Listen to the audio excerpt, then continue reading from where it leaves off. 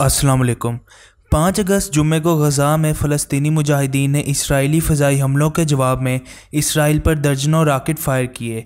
इन Israeli फ़जाई हमलों में फ़लस्तनी इस्लाम जहाद तहरीक के एक सीनियर कमांडर समेत कम अज़ कम दस अफराद हलाक हुए। जैसे ही फ़लस्तनी मुजाहिदीन के हमलों से अंधेरा छा गया, इसराइली हुकाम के मुताबिक जनूबी और वस्ती इलाकों में सायरन बजाए गए, जबकि इसराइली टेलीविज़न स्टेशनों की तरफ़ से नशर की जाने वाली तस्वीर में दिखाया गया कि कैसे फ़जाई दफाई निज़ाम के ज़रिए मुतद मिज़ाइलों को मार गिराया जा रहा है। इसराइल के इकतदी मरकज़ तलाबीब में आइनी शाहिदीन ने कहा कि वो मुसलसल बमबारी की आवाज़ें सुन रहे थे।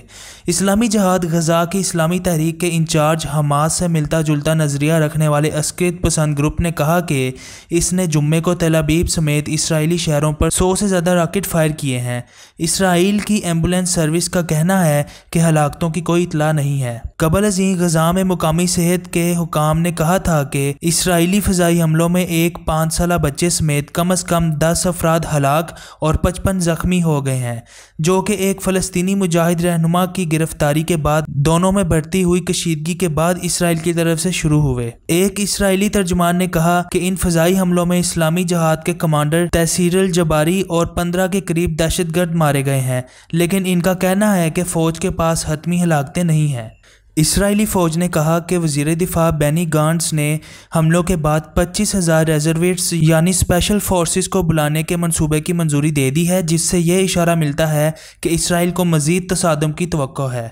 एक ईरान नवाज़ लबनानी चैनल अल मयादीन टेलीविज़न पर एक इंटरव्यू में इस्लामी जहाद के रहनुमा ज़ियादल नखाला ने हमलों का बदला लेने का अज़म किया।